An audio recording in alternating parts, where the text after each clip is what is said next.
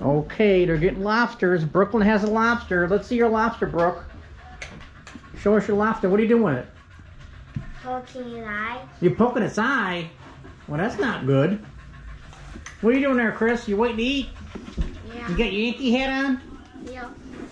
And that, who's that one? That's your dad's? Yep. So you got a lobster, two pounds.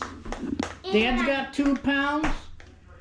And Brookie, you're too little for two pounder. Are you gonna eat that thing? Mhm. All right. Mine's the littlest one because I'm tiny. Yours is what? Mine. Oh! You just poked a hole in them.